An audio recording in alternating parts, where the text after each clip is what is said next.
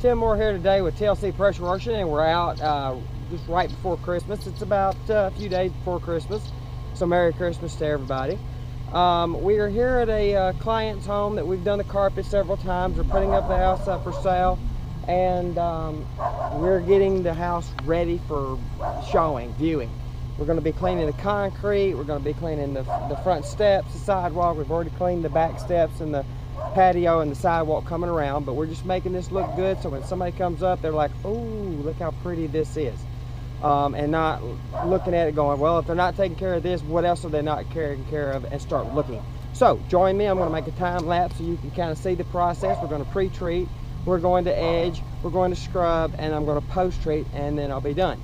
So anyway, join me as we uh, take you through this little process. And remember, Tim Moore, TLC Pressure Washing.